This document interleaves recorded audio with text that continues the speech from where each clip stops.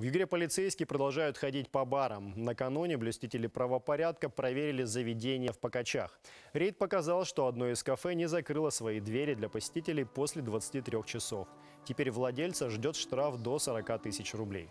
Еще одно учреждение отличилось соблюдением требований безопасности. Полицейским показали журнал регистрации температуры сотрудников, маски и средства для посетителей и персонала, бактерицидные лампы для обеззараживания воздуха. Однако без нарушений и здесь не обошлось.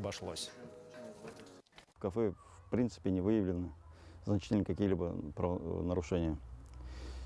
Если брать по нарушениям, то незначительно относится отсутствует разметка в основном э, возле барной стойки отсутствуют разметки, где указывается расстояние от клиента.